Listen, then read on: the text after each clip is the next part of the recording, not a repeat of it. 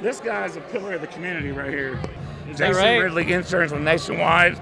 Okay, that's One of the one of the nicest guys I've ever met. Wait, hold on. So, so you work in insurance? Yes, sir. Fantastic. Tell me more.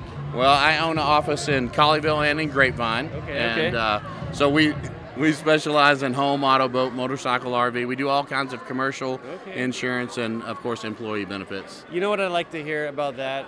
Okay, for me, it's a big deal. If you're you're here in Colleyville because because you get on the phone and you call a typical insurance company, you're gonna be on hold forever.